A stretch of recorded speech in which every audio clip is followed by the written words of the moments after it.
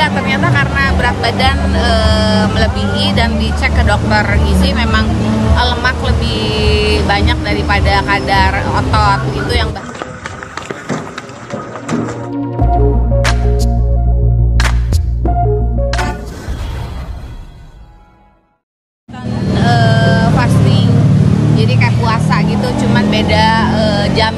jadi memang eh, per awalnya sekarang aku per 16 jam makannya. Jadi di tem- eh, setelah 16 jam aku makan bebas. Setelah itu ya udah eh, berhenti makan sampai 16 jam. Tapi awalnya sih nggak 16 jam. 6 jam dulu sampai bertahap bertahap 10 jam 12 jam. Sekarang aku kuat sampai nahan 16 jam puasanya. Oke, jadi itu prosesnya um, me- menurunkan berat badan itu ada faktor apa sih sampai akhirnya seperti itu gitu? Eh, gara-garanya sih udah mulai nggak lincah. Nggak lincah terus awalnya sih hmm, karena umur kali ya tapi enggak ternyata karena berat badan eh, melebihi dan dicek ke dokter gizi memang eh, lemak lebih banyak daripada kadar otot. Itu yang bahaya. Bahayanya adalah mungkin nanti efek sampingnya adalah ada penyakit-penyakit lain yang menyertai. Dan saya kan nggak mau ya. Saya pengen eh, di umur eh, tua itu dalam keadaan sehat gitu kan jadi ya udah saya dengan arahan dokter saya akhirnya bisa intermittent eh, fasting Fasting itu sendiri dari jam berapa? Terus teteh boleh bisa jadi makan? misalkan aku eh, aku skip eh, aku skip eh, breakfast skip sarapan terus eh, jadi aku baru makan di jam eh, 1 atau jam 2 terus eh, udah gitu saya mungkin sekitar 2 apa 3 jam saya makan tuh boleh boleh nunggu bentar makan nyicipin apa bebas pokoknya makan apa aja nggak ada pantangan. Eh, terus setelah itu misalkan aku berhenti di makan itu di jam eh, 4 atau 5 sore.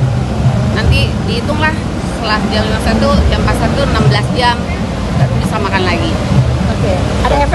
pertama kali teteh melakukan itu? ya awalnya sih mungkin berat karena lihat gorengan lihat apa gitu ya. Tapi sebenarnya badan tuh nggak butuhin gitu kan.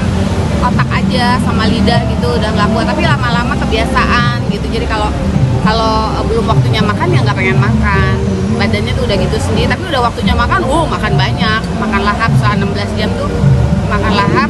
Terus setelah itu udah puasa tapi drastis banget ya, uh, turunnya sampai sebenarnya sih nggak drastis ya udah setahun lebih sih prosesnya sebenarnya. Dan dan sekarang sih udah stay di di di segini aja. Berapa? Nggak mau lebih turun lagi nanti nggak seger kan? Di 53 Emang itu 53 ada target? kilo- kilogram ya targetnya segitu. Kang Arman sendiri memang menganjurkan itu atau memang gimana oh, enggak dia sih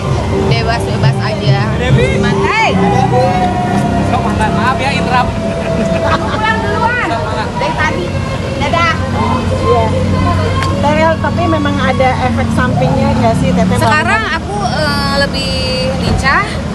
Nih terbukti hari ini aku menghadiri lima acara eh, selamatan. Ada kawinan ada tasyakur ada segala macam. Dari jam 7 pagi sampai sekarang jam berapa nih?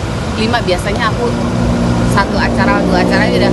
Ah, males ah males udah begitu sekarang ya masih energizer banget gitu. Kayak banyak baju-baju yang Alhamdulillah dulu saya memang sengaja nggak nggak buang baju-baju saya yang dulu karena yakin saya akan balik lagi ke berat badan yang awal. Karena kan kemarin itu saya naik 20 kilo karena sakit bukan karena memang gaya hidup saya eh, doyan makan yang over gitu kan. Semua orang doyan makan aku doyan makan cuman ada yang over ada yang enggak tapi aku sih normal-normal aja. Kemarin tuh sampai naik tuh karena sesuatu hal yang terjadi sama badan saya sehingga harus naik naikin berat badan jadi di dalamnya tuh hormon dan steroid waktu itu karena untuk eh, nidurin eh, virus yang ada di badan.